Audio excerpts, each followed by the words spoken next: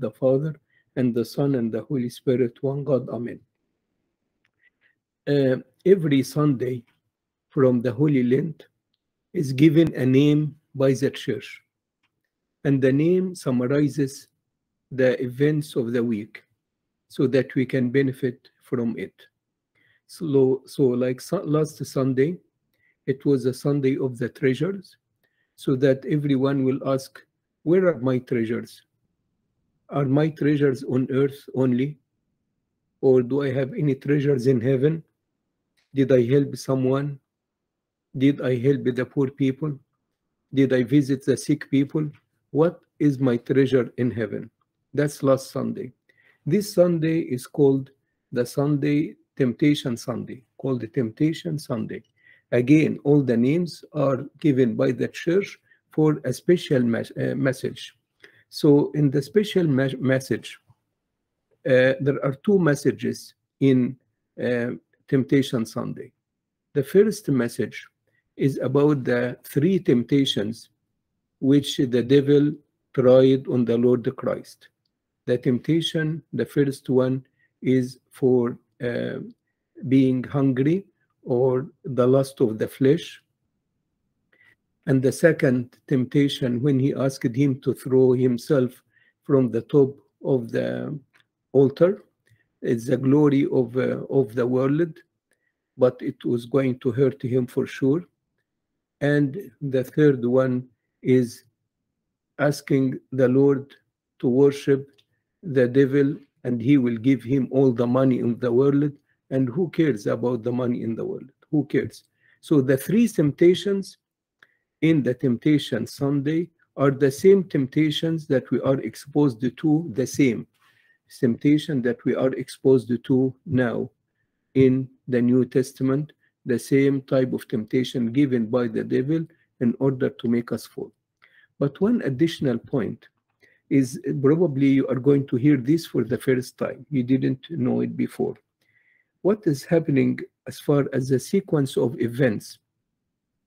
The sequence of events after the Lord Christ was baptized from St. John the Baptist, and the heaven opened, and the voice of the Father said and declared, This is my only begotten Son.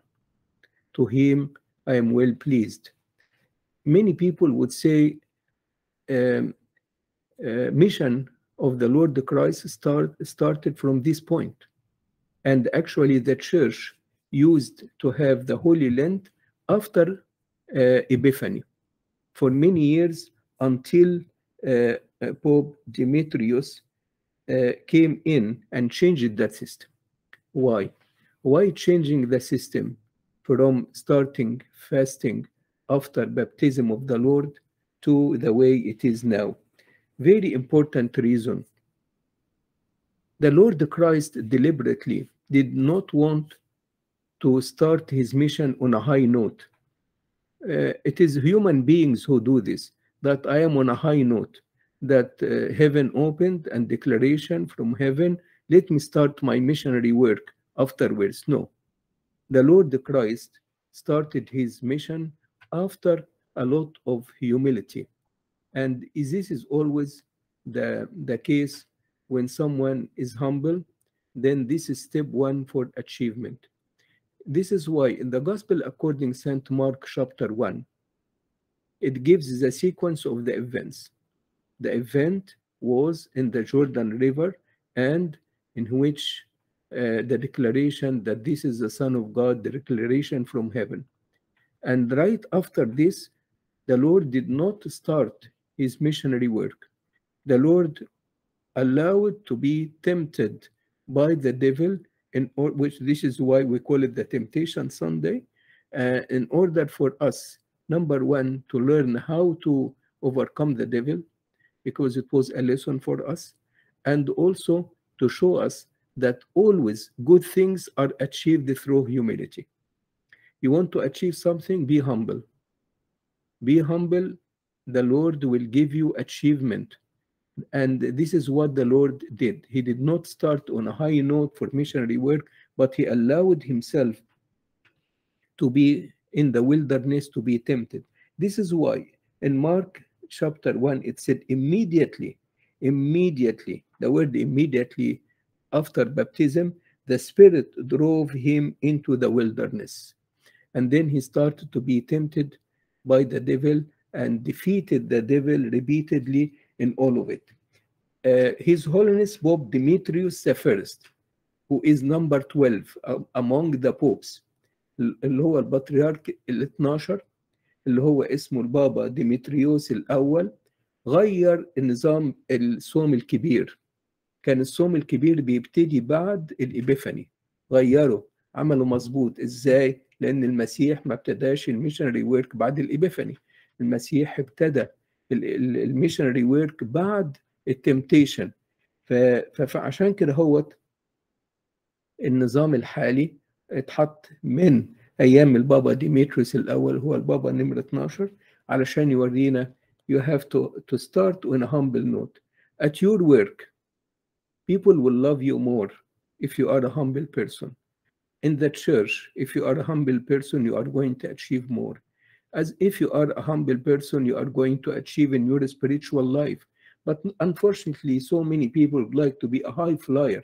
They like to show that there is a big thing coming uh, along and achievements and and and no this is not the way. The lord wanted to say that every time there is humility there is achievement. Without humility there is no achievement. The lord christ who is god incarnate allowed himself to be tempted by the devil the three temptations that were mentioned in the gospels and he overcame the the devil and became victorious so that he opens a way for us to be victorious against the devil. So Adam and Eve opened the door for, the door for humanity to be defeated by the devil. That's Adam and Eve. The Lord Christ, who is the second Adam, opened the door for humanity to overcome the devil. And this is why this is very important.